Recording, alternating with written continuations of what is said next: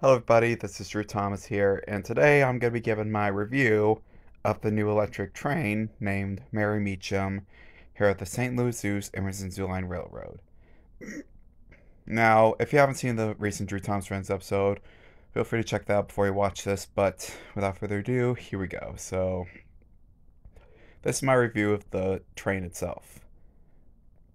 Let me tell you, the train looks beautiful, let me tell you.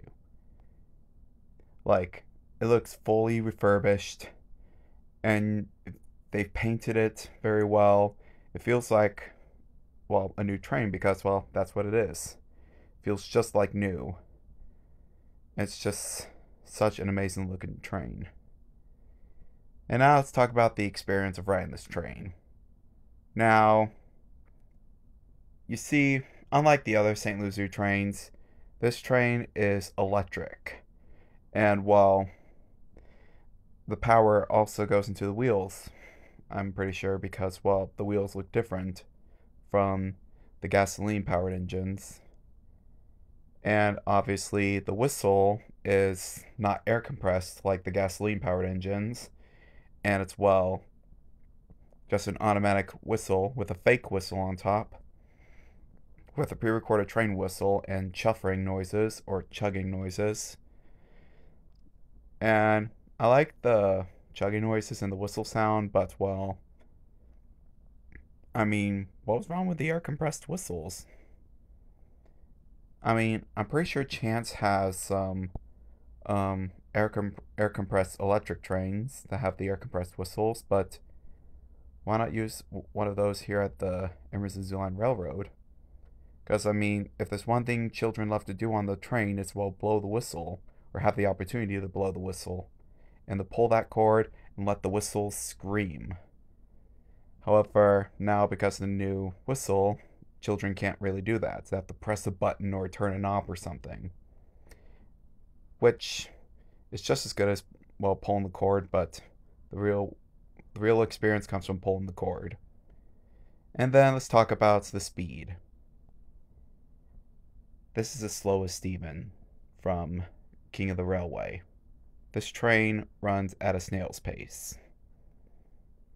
I mean, yes, it's a great way to see around the zoo. However, it goes pretty slow, and it doesn't go as fast as the gasoline powered engines. In fact, it's actually now the slowest train of the fleet. And while they also have updated on the uh, nameplate. It's it's not like the font of the St. Louis Zoo logo, and it's different. Probably because it's the the new train, and so they decided to give it a fancy nameplate. It's unknown if they're gonna add a different nameplate or if it's gonna be the same nameplate every time. But well, yeah. I've also been receiving news that the St. Louis Zoo will eventually um, revert to electricity, but that will be, but that won't be for like another thirty years.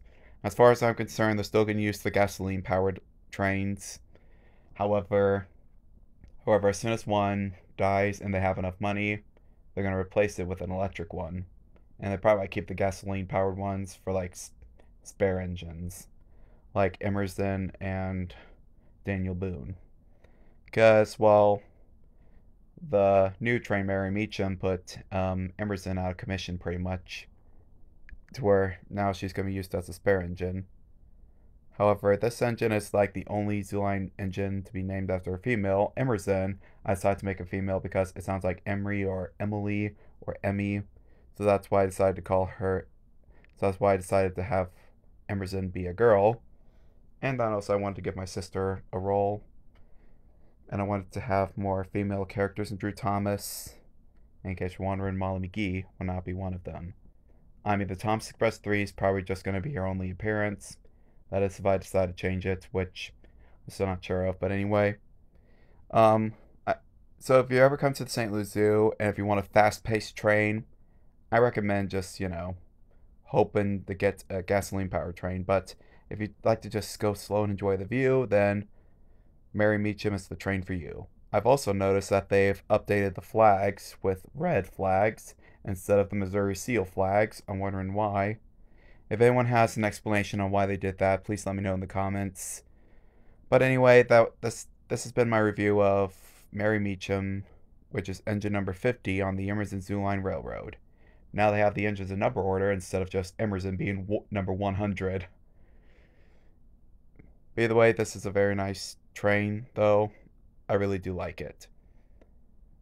So if you're ever at the St. Louis Zoo, spending the 60th anniversary that's coming up this year, then I highly recommend checking out Mary Meachum. Don't worry, she is not a brat in real life. In fact, she doesn't even talk like in Drew Thomas Friends, but yeah. Anyway, so subscribe to Drew Thomas for more train ride videos and railfan videos. If you wish to see a full train ride on the Emerson Zoo Line Railroad without commentary, let me know in the comments, and I should, and I shall video one when I go for the anniversary of Drew Thomas movie. But anyway, this is Drew Thomas signing off. Good night, and pickle suck.